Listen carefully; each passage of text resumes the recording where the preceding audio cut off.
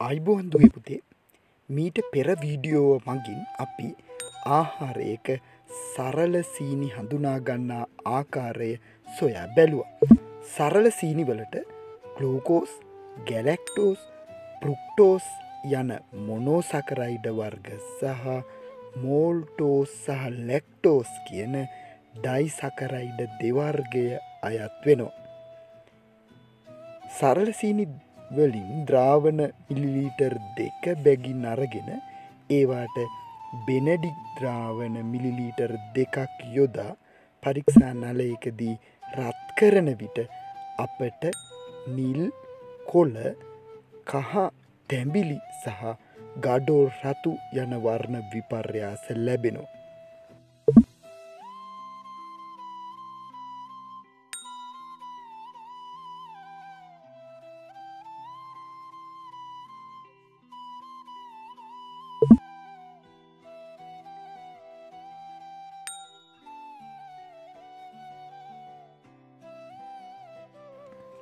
ඒත් සුක්‍රෝස් හඳුනාගන්නේ කෙසේද.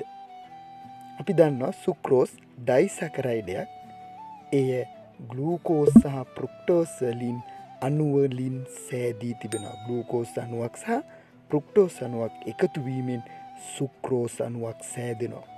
සුක්‍රෝස් ද්‍රාවණ මිලිලීටර් දෙකකට බෙනඩික් ද්‍රාවණ මිලිලීටර් දෙකක් යොදා පරික්ෂානලයකට එය නටනතුරු රත් කරන අයුරු මෙහි දැක්කෙනවා. එහෙත් සරල සීනිවලදීමෙන් එහි නිල් කොල කාහත් තැම්බිලි වර්ණ වෙනසක් ලැබෙන්නේ නැහැ. ඒ නිසා සුක්‍රෝස් ඔක්සි හාරක සීනි වර්ගයක් නොවේ. සුක්‍රෝ සඳුනාගන කෙසේද. පරික්ෂා නලයකට තනුක සුක්‍රෝස් මිලිලීටර් දෙකක් යොදා එයට තනුක එල් මිලිලීටර් එකක් එකතු කර මිනිත්තුවක් පමණ නටනතුරු රත් කරනවා.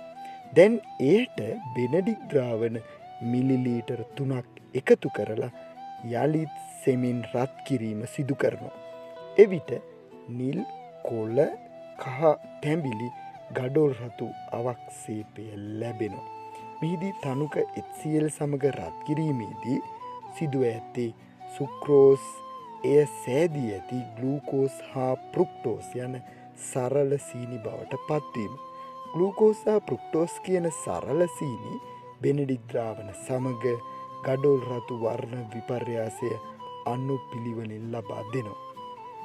මෙවැනිම තවත් වීඩියෝ එක් කළ සැනින් නැරබීම සඳහා සයින්සයි චැනලය සබස්ක්‍රයිබ් කරලා බෙල්ලයිකන් එක කලික් කරලා තබාගන්න වීඩියෝ එකට ලයි කරලා ෂයා කරන්නත් අමතක කරන්න එපා